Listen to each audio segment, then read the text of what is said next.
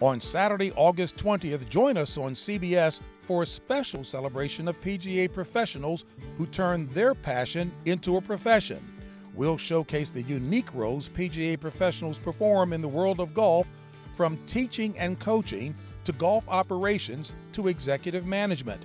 We'll meet entrepreneurs, business leaders, directors of golf, coaches, mentors, players, and national award winning professionals.